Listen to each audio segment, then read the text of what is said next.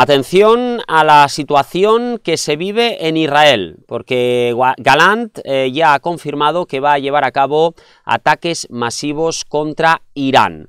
Incluso eh, después de que Irán se haya confirmado que busca una salida diplomática ante posibles represalias de Israel, dice Israel que tienen miedo, que saben incluso que eh, todas estas iniciativas donde aseguraban que Israel iban a atacar a Irán de forma rápida y, concisa, también hay que tener en cuenta una cosa muy interesante y es que al fin y al cabo Irán está, eh, bueno, se, se, está preparando ¿no? para llevar a cabo una defensa de su país. Ahora bien, ¿lo van a conseguir? Esa es la pregunta principal que todos nos hacemos eh, después de haber estado evaluando eh, cómo esa situación también está eh, prácticamente cambiando a partir de estos momentos. Irán ya lo ha dejado claro, pretende enviar misiles sobre todo contra Israel si ven que su país está siendo Desde atacado. El ataque con misiles del primero de octubre, Irán enfrenta la amenaza de una represalia por parte de Israel.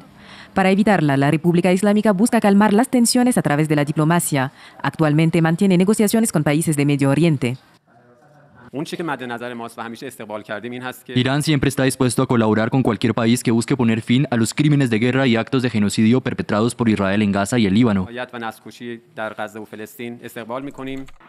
En paralelo, Teherán ha vuelto a condenar a Estados Unidos por su apoyo militar a Tel Aviv. El lunes, el secretario de Defensa de Estados Unidos, Lloyd Austin, confirmó el despliegue del sistema TAD en Israel, un avanzado escudo antiaéreo diseñado para contrarrestar posibles ataques iraníes. Irán confía en que los países de la región comprenden la...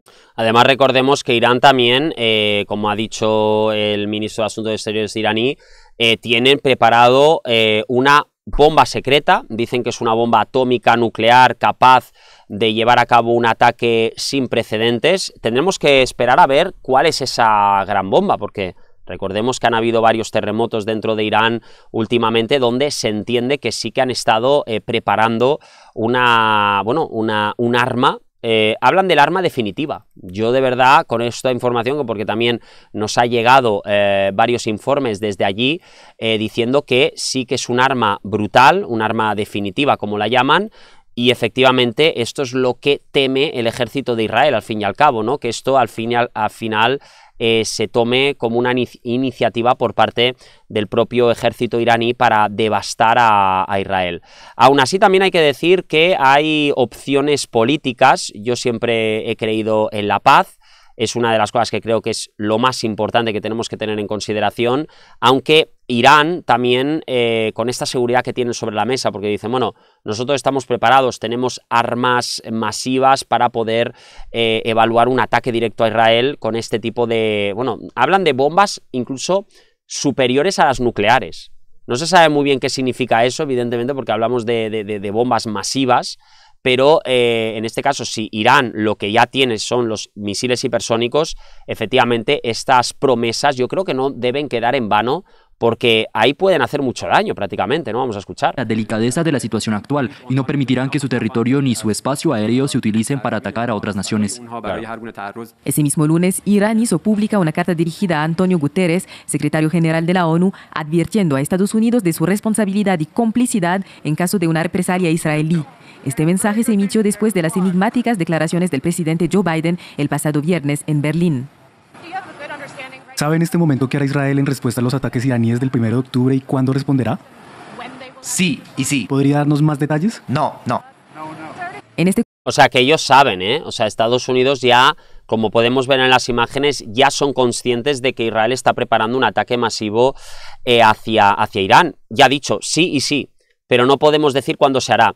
Ahí vemos a Anthony Blinken, por cierto, que ha llegado a Israel eh, últimamente, ha estado hablando también con los responsables principales de todos estos ataques, bueno, que como decimos son ataques incondicionales que se van a estar viviendo durante los próximos días, y aparte de eso, y a propósito de todo lo que están diciendo, cuidado porque la cosa se puede complicar a raíz de esta visita. ¿eh? En contexto, Anthony Blinken avanza desde este martes una gira por la región con una primera parada en Israel. El secretario de Estado de Estados Unidos busca frenar la escalada de violencia en la región y reactivar las conversaciones hacia un alto el fuego en Gaza.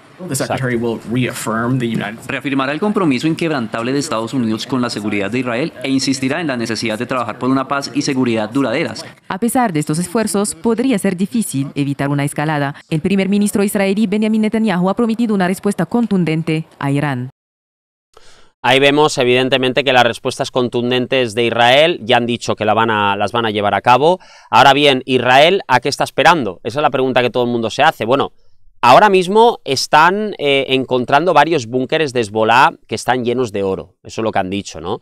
Y sobre todo también eh, si Hezbollah eh, ataca también el centro de inteligencia y base naval en Israel, como hemos estado pudiendo comprobar en, este, en estos capítulos, la cosa se pone cada vez más complicada. Han, han, encontrado estructuras de Hezbollah junto a posiciones de la misión de paz de la ONU en el Líbano y esto es lo que prácticamente preocupa y mucho a Israel. Porque ven que la ONU podrían estar de alguna manera u otra traicionándolos. Vamos a ver qué es lo que tienen que decir desde el canal Y el 26. ejército Atención. israelí sigue encontrando, sigue descubriendo túneles allí en el Líbano y además arsenal. Lo cuentan públicamente de esta manera los voceros del ejército de ese país. Mira. Israel dice haber hallado estructuras de Hezbollah junto a posiciones de la FINUL, la misión de paz de la ONU en Líbano. Así lo ha asegurado el jefe de operaciones de la segunda brigada del ejército de Israel, Ari Yehominer, desde Shlomi, una de las ciudades de la Galilea israelí que se han convertido en zonas militares cerradas en las que las tropas se preparan para sus operaciones en territorio libanés desde que el Estado hebreo invadiera el sur del país vecino el pasado 1 de octubre. El militar asegura que el mandato de la ONU no está ejerciendo el trabajo que debería estar haciendo el Líbano y que Israel no cesará en sus ataques al país hasta que cumpla el objetivo de devolver a los israelíes desplazados de las comunidades próximas a la frontera del país vecino. A lo largo del día, las Fuerzas Armadas han detectado el lanzamiento de más de 110 Fijaros porque todo esto evidentemente se entiende que la, a ver, la misión de paz de la ONU en el Líbano es muy evidente, o sea, la ONU eh, dicen que lo que quieren es evitar que haya una guerra total y un conflicto en el país, sobre todo con esas brutales amenazas que se están llevando a cabo eh, precisamente por parte de, bueno, por parte en este caso de, de Irán, porque Irán ya lo ha dicho por activa y por pasiva, han dicho no, no, cuidado, porque estas iniciativas pueden ir a peor y lo peor de todo que es, es que estas iniciativas, además de todo, podría elevar la presión, eh, como decíamos, de todo lo que está sucediendo en el país. O sea, mucha atención a lo que estamos viendo porque ahora mismo vamos a estar comprobando que las cosas van a ir a peor, esto es evidente, no se puede evitar una guerra regional como estamos viendo y a partir de estos momentos, cuidado, porque la cosa podría complicarse y, bueno, en gran medida sobre ese arma eh, secreta de, de, la que Irán está hablando, que tiene, que tiene preparada, y esos terremotos que han estado habiendo en Irán, ¿realmente son terremotos que efectivamente se han visto en relación a las pruebas nucleares que se estaban llevando a cabo? Sin duda alguna nos quedamos patidifusos, nos quedamos perplejos, pero la información seguiremos analizándola en RSTV. Como siempre, muchas gracias por venir y hasta luego.